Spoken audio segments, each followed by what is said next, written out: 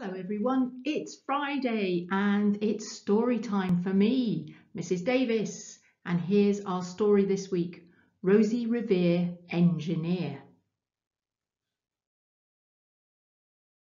This is the story of Rosie Revere, who dreamed of becoming a great engineer.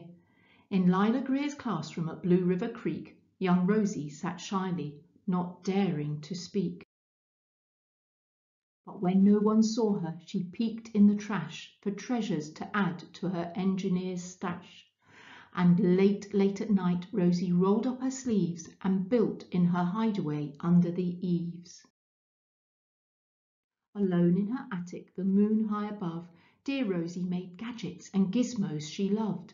And when she grew sleepy, she hid her machines far under the bed, where they'd never be seen. When Rosie was young, she had not been so shy.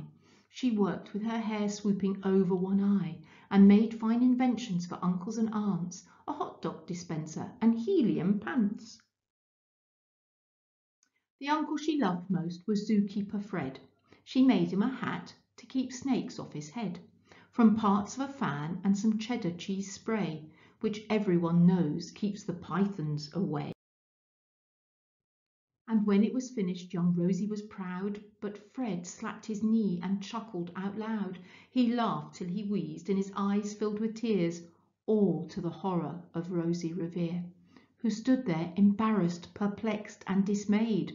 She looked at the cheese hat and then looked away. I love it, Fred hooted. Oh, truly I do. But Rosie Revere knew that could not be true. She stuck the cheese hat on the back of her shelf and after that day kept her dreams to herself.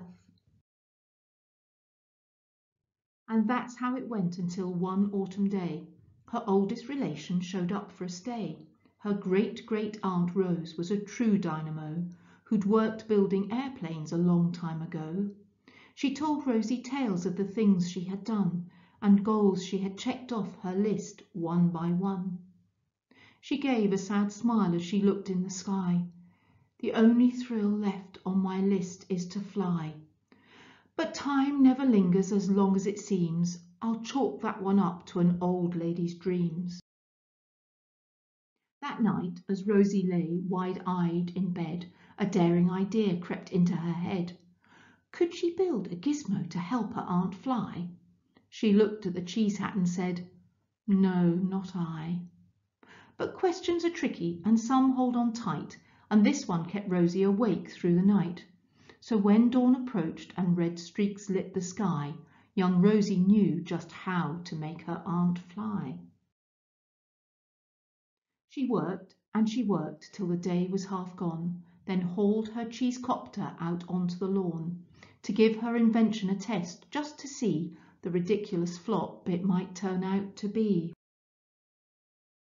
It floated a moment and whirled round and round, then froze for a heartbeat and crashed to the ground. Strapped into the cockpit, she flipped on the switch. The Helio cheese copter spluttered and Then Rosie heard laughter and turned round to see the old woman laughing and slapping her knee. She laughed till she wheezed and her eyes filled with tears, all to the horror of Rosie Revere who thought, oh no, never, not ever again will I try to build something to splutter or spin, or build with a lever, a switch or a gear, and never will I be a great engineer. She turned round to leave, but then great great aunt Rose grabbed hold of young Rosie and pulled her in close and hugged her and kissed her and started to cry. You did it! Hooray! It's the perfect first try. This great flop is over. It's time for the next. Young Rosie was baffled, embarrassed, perplexed. I failed, said dear Rosie. It's just made of trash. Didn't you see it? The cheese copter crashed. Yes, said her great aunt, it crashed. That is true. But first it did just what it needed to do. Before it crashed, Rosie, before that, it flew. Your brilliant first flop was a raging success. Come on, let's get busy and on to the next.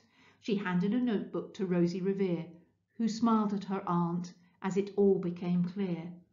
Life might have its failures, but this was not it. The only true failure can come if you quit. They worked till the sun sneaked away to its bed. Aunt Rose tied her headscarf round Rosie's head and sent her to sleep with a smile ear to ear to dream the bold dreams of a great engineer. At Blue River Creek, all the kids in grade two built gizmos and gadgets and doohickeys too.